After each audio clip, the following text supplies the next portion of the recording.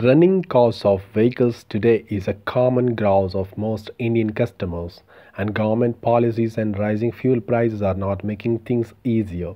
Plus, the fuel efficiency in our busy traffic conditions means that customers have begun to feel the brunt of refilling fuel tanks of their vehicles. And the government's non favorable policy towards the life cycle of diesel engine vehicles also deters most customers from buying them. Not to mention that diesel vehicles are getting more and more expensive, with increasingly difficult emission norms effectively killing small diesel engines in the Indian market. In such a scenario, does a hybrid power plant make any sense? Well, Toyota and by association Maruti Suzuki seem to think so. Maruti Suzuki has been selling mild hybrid cars in India for a while, but this is the first time that either of the two manufacturers is launching a strong hybrid with an EV mod too for the masses.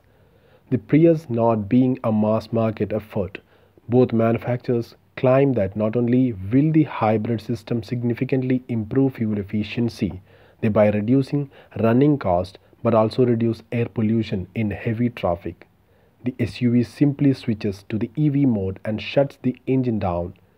The urban cruiser Hyryder, to call it by its full name, is based on Maruti Suzuki's global platform, which also underpins the Brezza. However, Avatar, the Hyryder features a long overall length at just over 4365 mm and a large wheelbase at 2600 mm. Both the Toyota Hyryder and Maruti Suzuki's Grand Vitara are essentially the same product with a few visual changes. The Hyryder comes with most design changes from the Grand Vitara. It comes with 17-inch rims and sharp front and rear design. The Hyryder has a good road presence. The restrained use of chrome all across the car also adds to its overall appearance. The front end with its twin layered headlight design and the rear with its sweeping tail lights further give the Hyryder an excellent aesthetic appeal. Inside the car, you can obviously feel the Maruti origins. Given that the steering wheel, center console and many other control surfaces are from Maruti Suzuki stable. The dual-tone interior of the car looked quite pleasing though. Overall the interior is quite a nice place to be, especially with the sharp looking 9-inch multimedia touchscreen and digital instrument cluster. The driver also gets HUD which is quite useful in the strong hybrid variant of the Hyryder. It not only shows speed and other data but also charging status and driving modes employed by the engine management.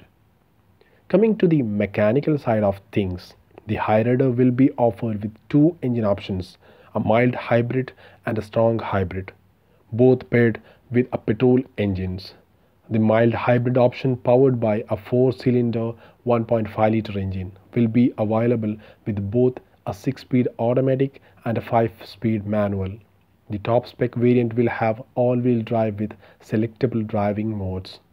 The strong hybrid variant with the 1.5 liter 3-cylinder engine paired to an eCVT and a large battery pack in this stream, the Hyryder has a power output of 114 HP along with a substantial torque output.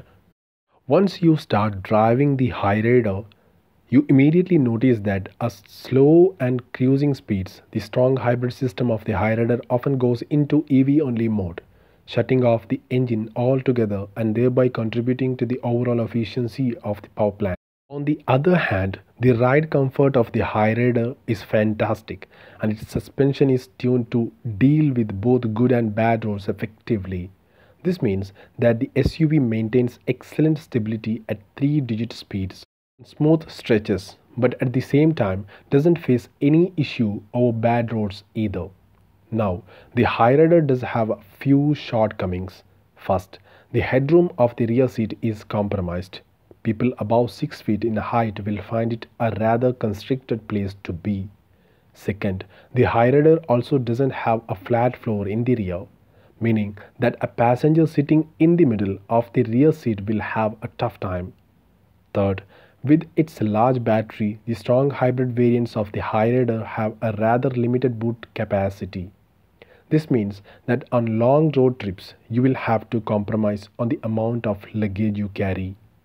On the other hand, the Hyryder really has very low running cost despite being petrol powered and could very well be a great choice for a lot of Indian customers dealing with the inflated fuel prices right now. Its efficiency levels, at least of the strong hybrid variants, are high enough to make it a very attractive proposition for many customers in India. In the ongoing debate about hybrid versus electric suitability for the Indian market, we should go with hybrids for obvious reasons. There is no need for particularly large batteries or charging infrastructure and the Hyryder proves that a strong hybrid can offer efficiency levels that regular engines can't match. Plus, with an EV only drive mode, you can do short distances on electric power alone.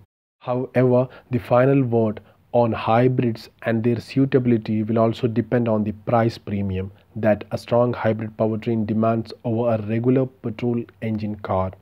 If the difference in price is not too high, the lower running cost of hybrids could make them very attractive to Indian customers and Toyota could be the first manufacturer to benefit from it.